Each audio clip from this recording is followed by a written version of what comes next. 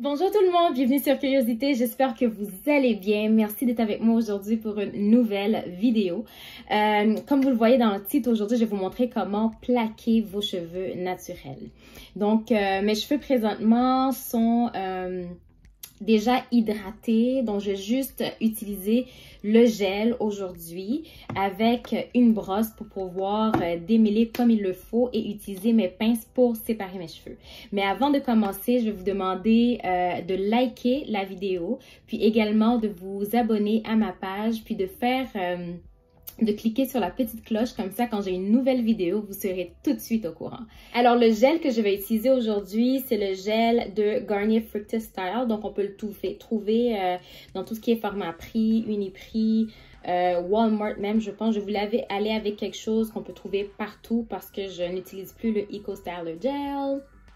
Euh, puis mon gel favori qui est le Kinky Curly. Euh, malheureusement, je trouve que ça n'a pas une forte tenue. Puis je veux quelque chose qui tient toute la soirée si je vais danser, si je vais m'amuser.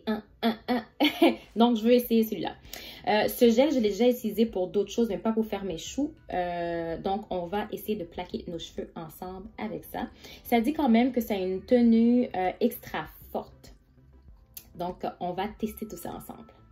Pour plaquer mes cheveux, euh, je ne me casse pas la tête. Je vais diviser mes cheveux en plusieurs sections euh, horizontales. Plusieurs sections, puis je vais appliquer le gel. Comme je vous ai dit, mes cheveux sont déjà hydratés. Donc, tout ce que je fais, c'est appliquer le gel et attacher les cheveux pour avoir la couette parfaite. Je vais diviser euh, mes cheveux pour vous montrer. Ça n'a pas besoin d'être parfait. Juste assez pour créer des sections pour appliquer mon gel. Parce que je vais éviter de mettre des couettes puis les défaire à chaque fois, ça, ça me fatigue. Ok, donc ça tient. Donc comme vous le voyez, mes cheveux sont séparés. Je vais tourner pour que vous puissiez voir.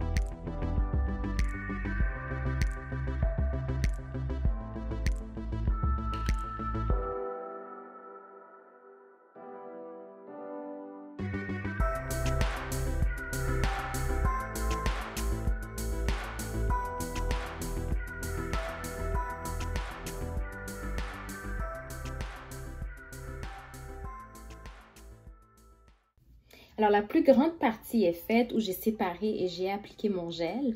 La raison pour laquelle que j'applique le gel à chaque section, c'est pour éviter que les cheveux, que j'ai une belle couette, mais qu'au milieu soit trop, trop, trop gonflé. Vous allez voir que présentement, oui, j'ai appliqué le gel, puis je l'ai mis directement sur la couette.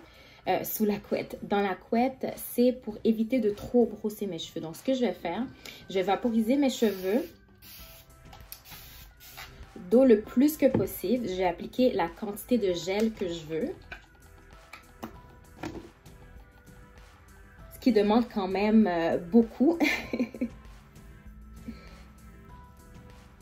Donc, je mets mon gel.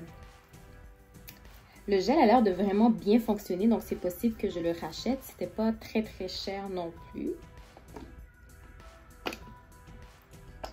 Donc, je fais le même processus des deux côtés. Vous voyez déjà que c'est pratiquement aplati. Je l'applique euh, partout. Comme vous voyez, ça fait déjà une différence. J'aplatis, j'aplatis, j'aplatis. Et là, quand je suis sur un peu de ma couette, c'est là que j'utilise ma brosse. Et je brosse.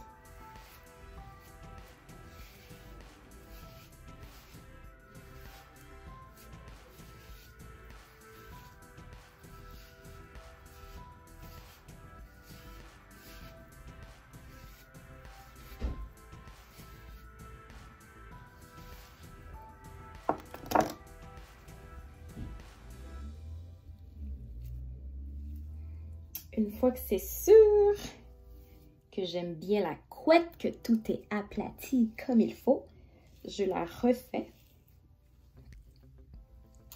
avec l'élastique et le tour est joué.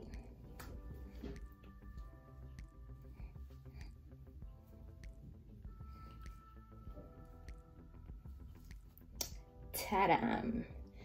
Donc là, j'ai ma couette. J'ai souvent l'option euh, de soit la laisser comme ça ou sinon de faire un chignon. Moi, je suis plus chignon. J'ai même mon faux chignon de près. C'est un chignon, euh, c'est enroulé de faux cheveux de... C'est quelque chose en soie, en fait. C'est pour éviter justement que ce soit trop dur. Pour que quand ça va se frotter avec mes cheveux à moi, ça ne va pas les casser. Donc, j'ajoute mon chignon ici. Puis, je vais vous montrer.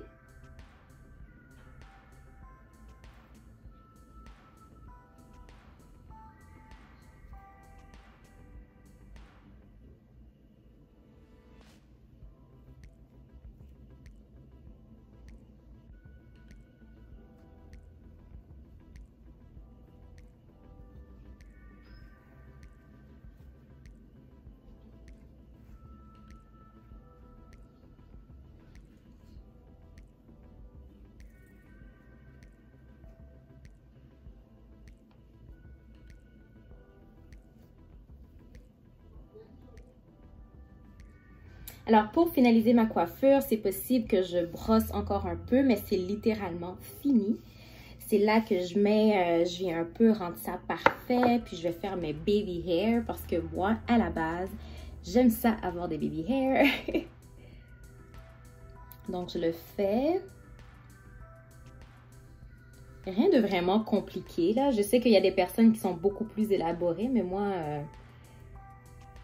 quelque chose de beaucoup plus simple que ça. Littéralement, mon chignon est fait. C'est déjà tout beau. Je vais utiliser un, on appelle un do-rag, donc c'est comme un foulard. Je pense que c'était dédié pour les hommes. Mais moi, quand je fais mes chignons, je préfère le faire avec parce que je trouve ça bien pour que ça puisse bien les aplatir. Donc, je, je le mets tranquillement. J'attache.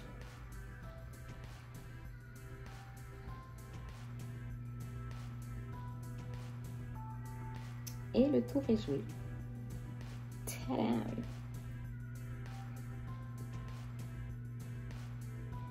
Donc, euh, c'est possible que je finisse de me maquiller, que je fasse d'autres choses entre-temps, mais je vais laisser ça à peu près 5-10 minutes, le temps que ça marine super bien, puis que mon chou soit super, super aplati.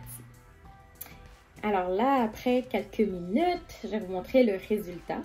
J'ai ajouté, euh, ben, dans mon pays, on appelle ça des barrettes. des petites pinces à côté parce que mes cheveux de devant sont beaucoup plus courts. Donc, ça n'arrive pas nécessairement à la couette puis ça a tendance à sortir. Donc, je les ajoute. Je trouve que c'est une coiffure qui est super mignonne. Euh, c'est vraiment chic puis c'est passe-partout. Que c'est un mariage, un get-together. Euh, voyage, peu importe l'occasion également, je trouve que ça fit très très bien.